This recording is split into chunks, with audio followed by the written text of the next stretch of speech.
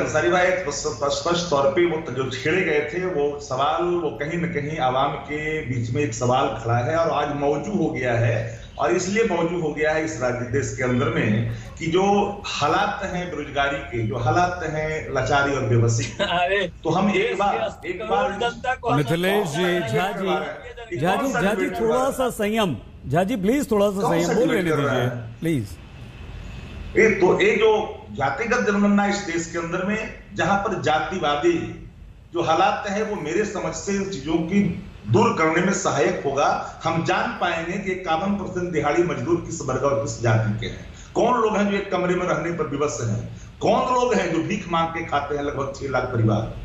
तो इन सवालों की चिंता हर को होनी चाहिए रोज़गार बंद हो चुके हैं सरकारी नौकरियाँ नहीं है तो बजट एलोकेशन करने में इनके उन्नयन के रास्ते अख्तियार करने में जातिगत जनगण एक ऐसा एक मैकेनिज्म है जिसको हम अवलोकन कर करके सही माने में देश को उन्नयन के रास्ते पर हम ले चल सकते हैं सहायक होगा और ये सवाल मौजूद है। इसलिए मौजूद है अंसारी साहब मैं इस बात को कहना चाहता हूँ। इस देश के अंदर में जब तेईस प्रतिशत युवा युवतियाँ जब उच्च शिक्षा ग्रहण नहीं करते मैं नहीं कहता वो कौन जाति के हैं। हो सकता है हो। पिछड़ा हो दलित हो महादलित हो आप किसी धर्म के रहने मानने वाले लोग हो हर वर्ग का एक बार हो जब इकतीस में हुआ। शक्ति जी रिएक्शन जल्दी जल्दी ले लेते हैं।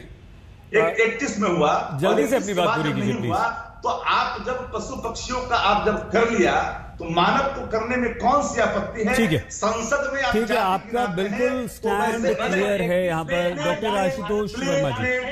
Doctor Verma. Second, second, बस यादव जी यादव जी समय कम है सर समझ नहीं रहे हैं आप Complete. No, no. Let me complete, let me Jha ji आपसे एक बार फिर से निवेदन है झा जी बीच में मत बोलिए please Only 10 minutes, let me ठीक है बोलिए बोलिए टेन Only 10 सेकेंड्स बोलिए। सेकंड सॉरी 10 सेकंड देश के लोकसभा के अंदर में जाति गिनाते हैं मंत्रिमंडल का तो वसुदेव कुटुंबकम का जो हमारा वो नहीं जब छिन्न होता है तो जाति गिनने में नहीं हो सकता।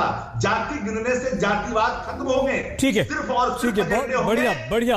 यादव साहब शक्ति यादव जी डॉक्टर वर्मा डॉक्टर आशुतोष बस सर बस प्लीज़ सर बंद कर दीजिए आवाज़ झाजी की जरा। पैदा झा जी की आवाज़ बंद कर दीजिए। डॉक्टर वर्मा जब सुप्रीम कोर्ट साफ़ तौर पर यह कह चुका है कि 50 प्रतिशत से ज़्यादा रिजर्वेशन नहीं हो सकता और अभी ही उनचास दशमलव पाँच हो चुका है। ऐसे में मान लीजिए कि अगर जातीय जनगणना में, अगर रिजर्वेशन में आने वाली जातियों की जनता की संख्या क्रॉस कर गई और वो 50 प्रतिशत के ऊपर बढ़ गई 10 करोड़ से ज़्यादा हो गई तो क्या करेंगे सर? ये फिजूल नहीं हो जाएगी ये जनगणना। और एक बार आपका स्टैंड हम जानते हैं, लेकिन फिर भी आधिकारिक तौर पर अभी बताइए, क्या है आपका स्टैंड?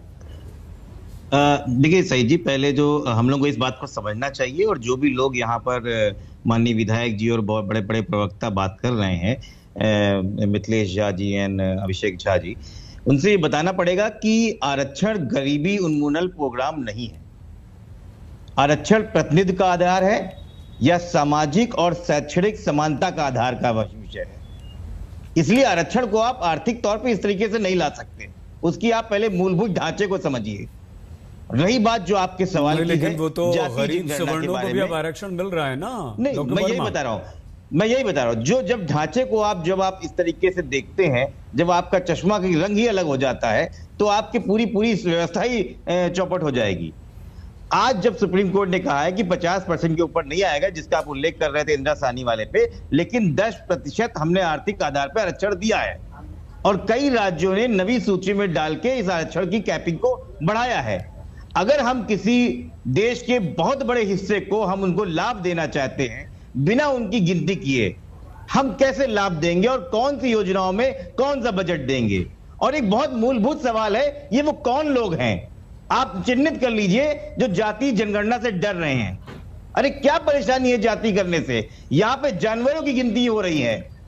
यहाँ पे पक्षियों की गिनती हो रही, बाघों की गिनती हो रही।